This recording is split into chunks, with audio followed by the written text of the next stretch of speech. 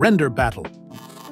In the first video of our series, we tested the RTX 3060 paired with the AM5 platform. It used around 10 gigabytes of VRAM and 16 gigabytes of system memory, rendering our benchmark car scene in 1 minute and 28 seconds. Now let's see how it works with our AM4 setup. In this case, we can see that GPU usage reaches about 11 gigabytes of VRAM and around 15 gigabytes of RAM, probably due to the slower CPU and memory bandwidth on this older platform.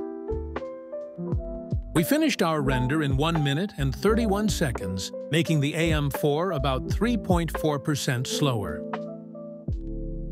In this case, the AM4 use didn't drop the performance as much as with the 5070 Ti once the 3060 is the main bottleneck.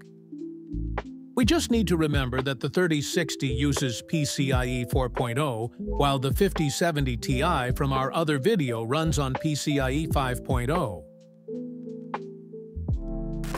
On the next episode, 4060 Ti 8GB versus the 3060 with 12. Which one do you think will perform better? Like and subscribe so you don't miss any video.